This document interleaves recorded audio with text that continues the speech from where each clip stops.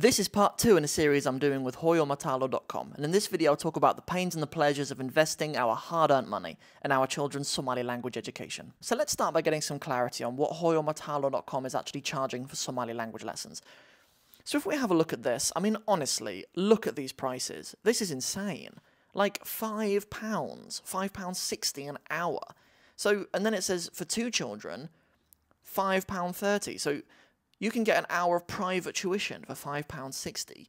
Like I don't, I don't know if there's anyone in the world who is saying this is Qaali waaye. I don't know anybody who's saying that because I mean, for dollars, for those of you who don't speak speak speak English, um, so that's like six, that's like six or seven dollars an hour.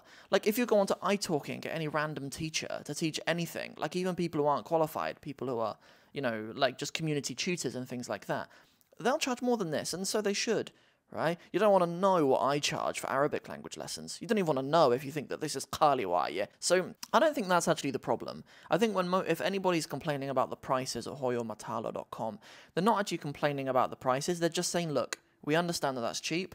I just don't have a lot of money, right? And that's the situation for lots of people. Believe me, I've been here in London for like a few weeks and I'm hemorrhaging money. Like we're having it tough here in the West. It's much easier financially living in, in back home in uh, in Somalia or, or many other countries, right? So what I want to do is I want to frame this in a different way because people here in the West, like we are spending money on things, right?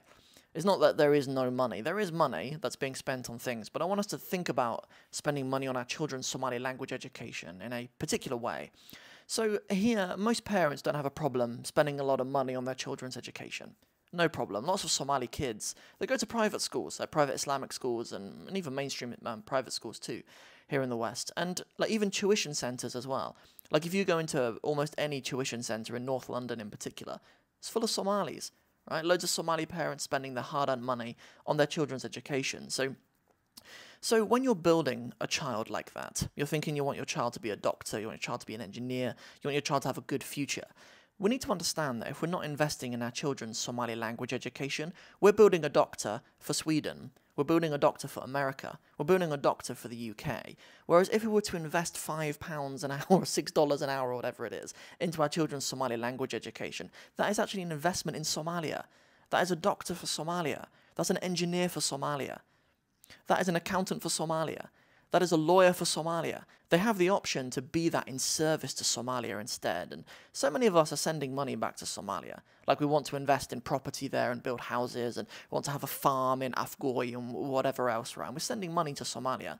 So what I would implore you to do, inshallah, is to think of this as an investment, not just in your children's Somali language education, but an investment in Somalia itself. So to get started today, check out hooyomataalo.com for these affordable and really fun Somali language lessons for your children. Or you can WhatsApp the team at plus four four seven nine three four eight four 8679 and in Somali that is afartani o afar toddobaatani o sagaal soddoni afar sideetani o afar lix toddobaatani o sagaal